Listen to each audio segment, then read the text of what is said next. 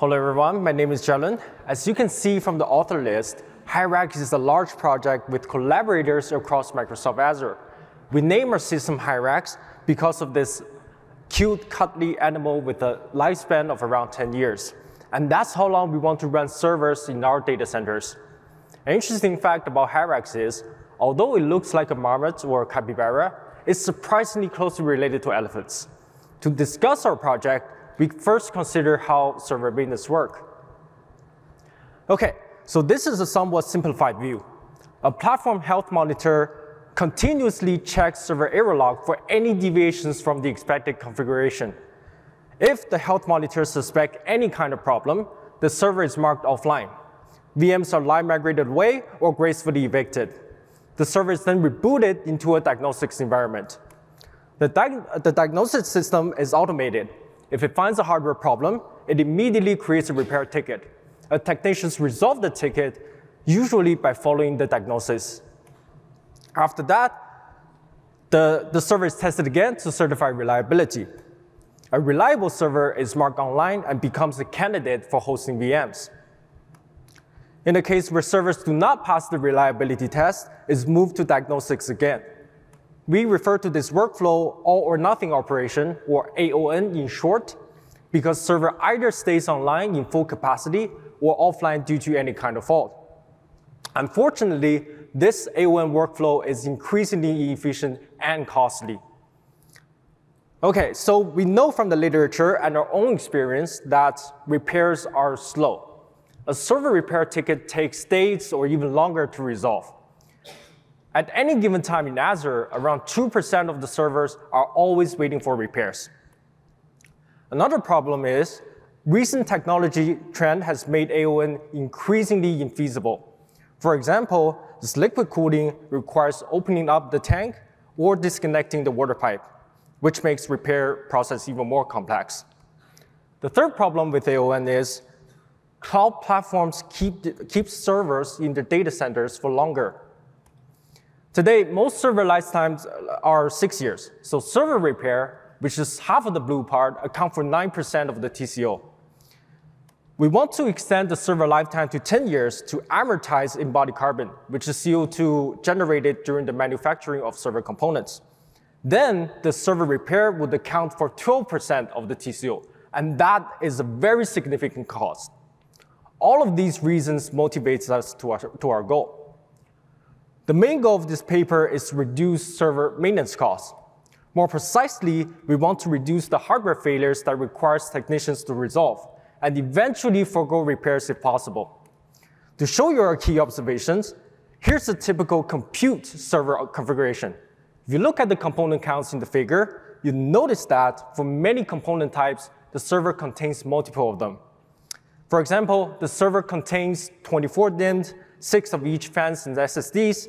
You look at the component counts in the server, uh, well, if one of these components fail, the server could continue to operate but it takes some work, and uh, the server may have degraded performance. So we call these component types degradable. For the other component types, like motherboard or NIC, the server cannot afford to lose any of them, so we call them undegradable. So our main idea is to deactivate faulty components instead of replacing them, and the server would operate in reduced capacity. Of course, this approach can only work if many failures are due to degradable components. So we study Azure's repair data for the most, for the, for the most common server generation. We break down the, the repair statistics by component types. And here's what we found. We observed that degradable components make up 68% of all failures. So that's a, that's a potential for a huge saving. In order to implement our, our idea, we need mechanisms to deactivate failed components and a lot of other things. With that in mind, let me show you the overview of Hyrax workflow. At a, um, at a very high level, Hyrax is a software stack that, that allows server with faulted components continue to operate without repairs. Hyrax is partially deployed at Azure for SSDs, the support for memory is gradually rolling out to production this year. We add a few states to the previously introduced workflow. After diagnostics, Hyrax policy decides whether to degrade a component or to repair it. If the component is undegradable, then it follows the original workflow. If the component is degradable, then we evoke the corresponding deactivation mechanism. And again, degraded servers need to go through the reliability tests. If the server is reliable, it comes back online, we mark the server as degraded to differentiate it from the healthy servers. There are multiple challenges to address when implementing this workflow. For example, during diagnostics, how can we accurately identify faulty components? When does Hyrax policy choose to degrade and when to repair? How do we deactivate components? For this newly added online state, how do we integrate it to other control plane services? The cluster is no longer homogeneous, and that breaks the assumption for a lot of the control, the control plane services. How do we enforce the quality of service on degraded servers? And there's this big question, what if the clusters with degraded servers cannot host as many VMs as before? In this talk, I'll show you at a very high level how we deactivate components and enforce quality of service using DIMMs as an example.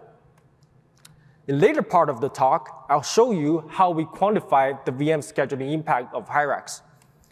Hyrax addresses all of these challenges in the paper. I suggest you to go ahead and check it out. An important observation when thinking about deactivation is failures may occur at any point between core and the actual component. So we call this a component pathway.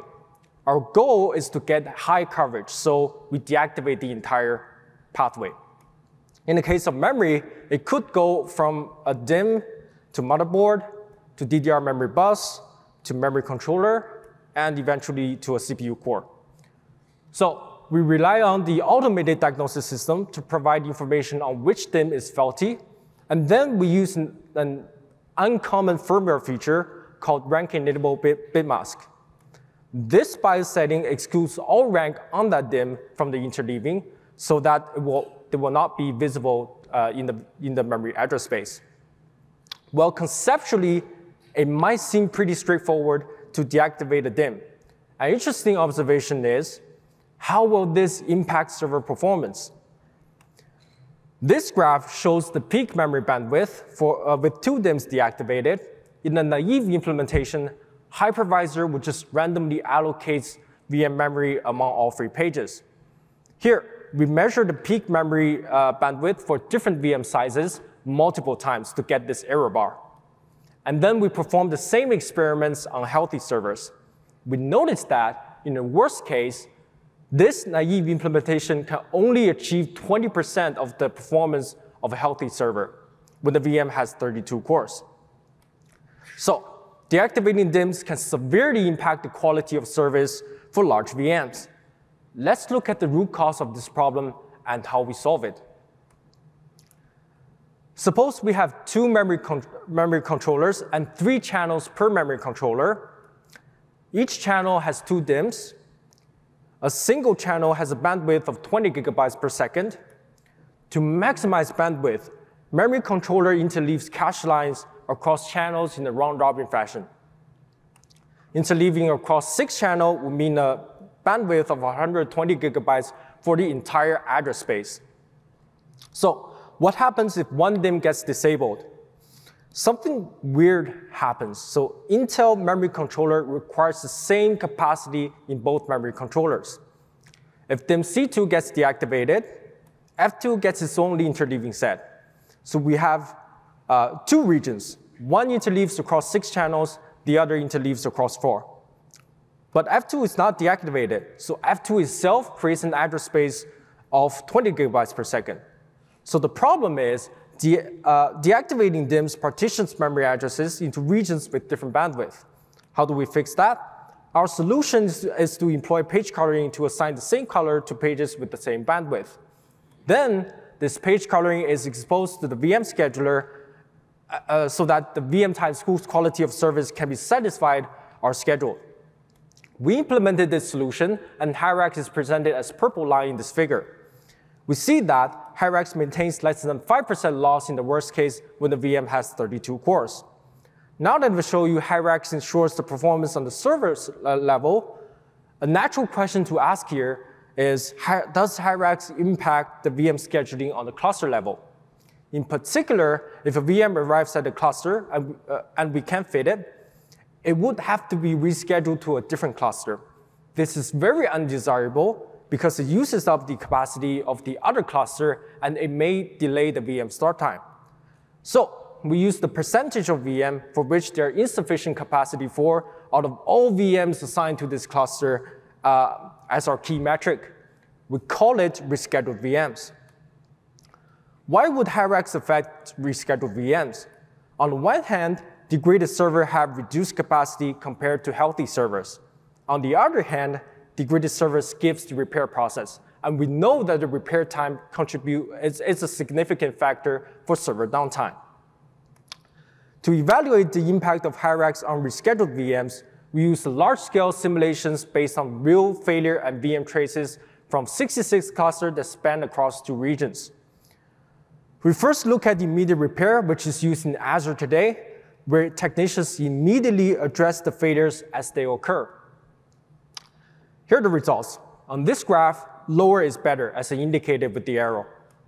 We observed that Hyrax scheduled the same set of VMs as in AON. We also look at an alternative scenario where technicians come to the cluster once per X months. Once they're there, they, they repair all the all the failures. We experimented with repair interval, intervals of 3 months, 6 months, and 12 months.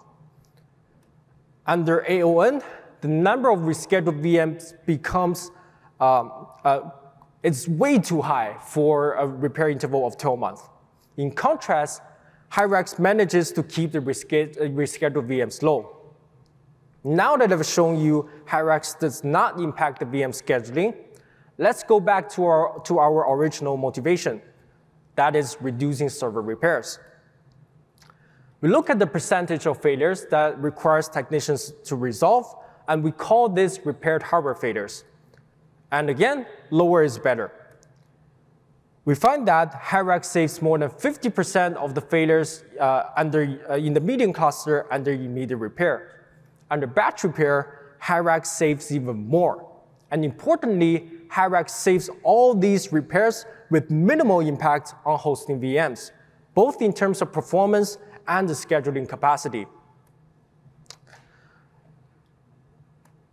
In conclusion, from our simulation, Hyrax reduces the repair frequency by 55%.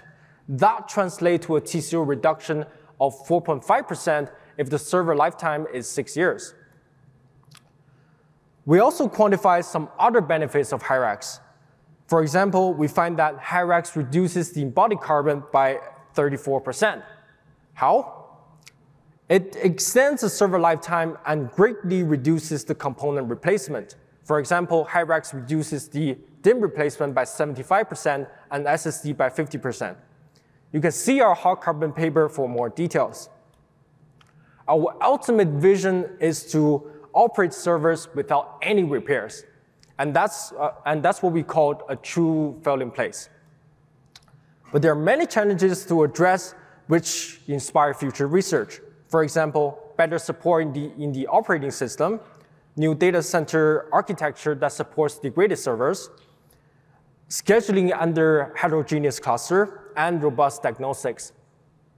Hyrax is the first step toward, towards this direction, and we proved its viability and potential through our, through our experiments and simulations. Thank you. That's all I have.